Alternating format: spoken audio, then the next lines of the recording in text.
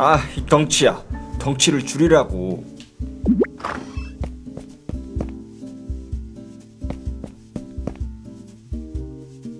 자, 이제 여름 이야기를 좀 해보자고. 난 이번 방학에 취업 캠프를 가기로 했는데 그래, 가서 넌 아무 생각 없이 망치질이나 하고 이 망치를 지금 비하한 거야? 이 컵보다도 작은데 어련하겠어. 다음 스칼렛은 글쎄 해외 여행을 갈까 하는데 해외로 돈 쓰러 가는 건가? 그렇게 부정적으로 말할 거면 왜 묻는 거지? 처음 찾아오는 대학의 여름 방학을 허투루 보내려니까 그렇지. 안 그래, 캡틴? 응? 뭐라고 했지?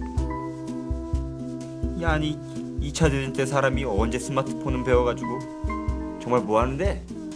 아 미안 CCC 대학생 여름 수련회 등록 중이었어 그게 뭔데? 그게 뭐냐면 어, 자비스? CCC 여름 수련회가 뭐지? CCC에서 전국 대학생 크리스천들이 모여 하나님을 찬양하고 4박 5일간 성령을 만나는 열정의 수련회입니다 맞아 난 새 친구 반에 가려고 캡틴, 넌 헌 친구야.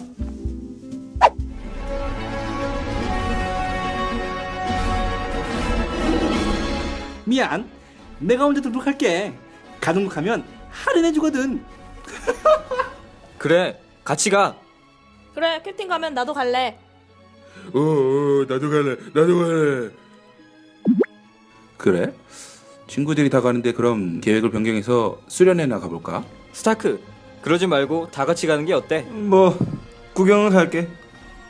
가면 반할 거야 아주 좋은 분을 만나게 되거든 우리보다 더 진정한 히어로를 우리보다 더 강하단 말이야?